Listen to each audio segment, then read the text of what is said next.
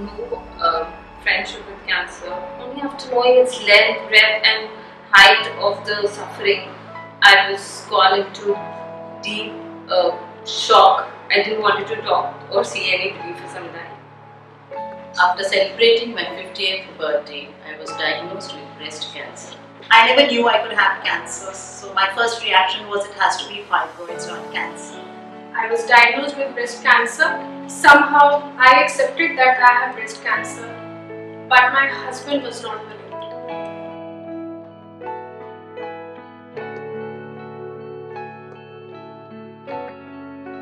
My son was 9 years old when I was diagnosed and I had no choice to give up. Treatment के दौरान सबसे week हर दिन होता था हर सुबह होती थी कि रात को जब मैं सोती थी तो सुबह उठते कि मुझे एक नई लड़ाई करनी है The weakest moment during my treatment was I had blisters in my throat and I was really unable to eat when I actually wanted to eat. After my first chemotherapy, I had undergone a lot of trouble. That अगर मैं ऐसे लेटी रही, I will never be able to get back to work. उठो, get back to work. The weakest moment was when I had a bunch of hair in my hand. That was all.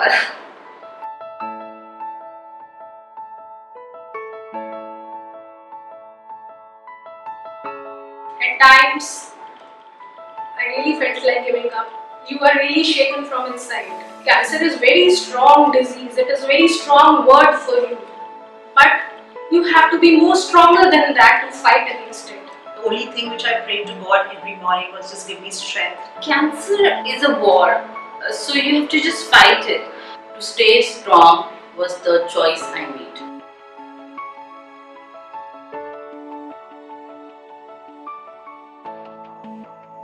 I was just uh, trusting God that He's making me a beautiful new person. Cancer ने मेरी life को बिल्कुल ही बदल दिया और मैं इस फाइट को जीतकर अपने आप को और स्ट्रॉन्ग और मज़बूत महसूस करती हूँ It's made me more optimistic, it's made me more lively, it's made me really meet a lot of people. Cancer has made me more patient and I'm more assertive now.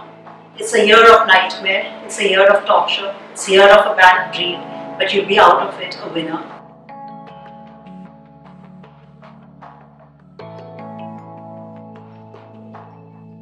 I lost my mother even before I was diagnosed. But it was her journey and her courage that made me determined to fight off cancer.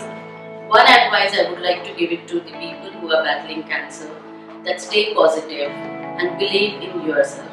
Follow your doctors, follow a healthy lifestyle, eat well, and always be positive. Cancer gave made me strong, confident, and I just knew that I could now win anything which would come my way.